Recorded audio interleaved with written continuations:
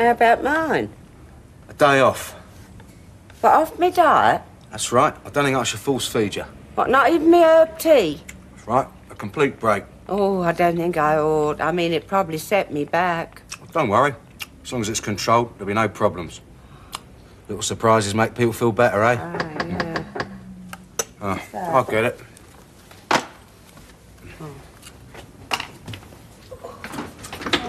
Hello. I've come to see your mum. Yes, in the front room. Go straight in. Thank you. Mrs. Fowler to see you, Ma. Oh, hello, Hello, Pauline. doll. How are you? Oh, I'm much better, thank you, yeah. Oh, but the other day I was so worried about you. What's mm. wrong with you? Well... Nothing according to Dr. Legg. No. Yeah, but the other day. Exactly. Yeah, I know. That's why she stopped seeing him. Yeah. He reckons she was putting it on. Still, we all make mistakes. Yeah, but what is wrong with you? I Well- told you. I told you. She's allergic to caffeine. Yeah.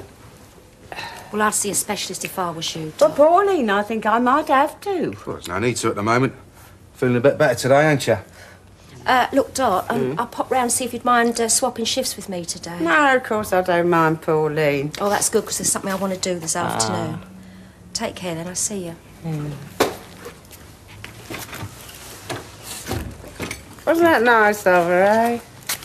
Be so concerned. Yeah.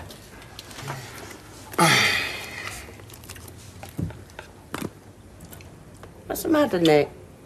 Is anything wrong? Nah. I was just thinking about you leaving your money to the mission. Oh. I can't get over it. I think I'll tell him at the prayer meeting tonight. You don't mind, do you? No, of course not, no. I suppose you ought to think about seeing his solicitors. Get the old will changed. Oh, some other time. I don't feel up to going down there today.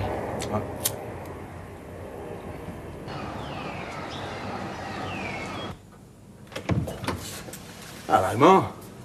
You going somewhere? No, no, I'll just come in for my fags. Ah. I was just thinking, I won't say anything to the mission about uh, what you decided until you've seen your solicitor. And you can always change your mind. I won't change my mind. Well, you might. I don't want to get all excited and it don't come to nothing. Look, that's who I'm leaving it to. I've decided. But anything might happen. Oh, look, Nick, I'll go down to solicitors and get them to do it straight away. Then there won't be no argument. Well, that's what you want. Yes, as soon as I feel up to it, I'll go down there, I'll get them to sort it out. But not today, because I ain't got the strength. Here. I'll make some more tea, eh? Not for me, thank you. Ordinary tea. Oh. Special treat day, remember? Oh. Lovely. Pond cottages? No. I ain't never heard of Martha. Well, what about the name Bainbridge? W.W. Bainbridge. Ah, now that rings a bell. Mm. Now, according to the records in the library, Pond Cottages was pulled down in 1931. Oh, well, that's before my time, of course. Yeah, well, Bainbridge lived there till then. After that, there's no trace of him. Mm. Fancy. Mm.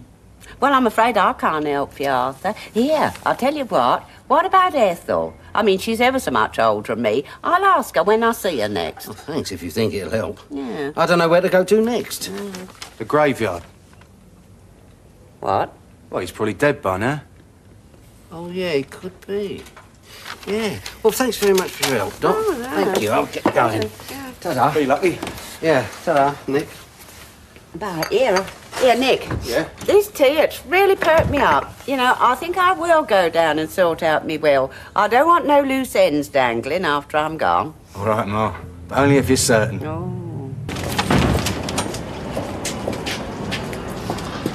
Look, oh look, they're doing up number 27. That means I'll have new neighbours. Yeah, I suppose you couldn't tell me, you know who's moving in, could you? Because I like to make my neighbours welcome. Oh, come on, Ma. Leave these lads to do their job, eh? You only exhaust yourself. Yes, well, I, I could do with a lick of pain. yes, well, I mean, look. I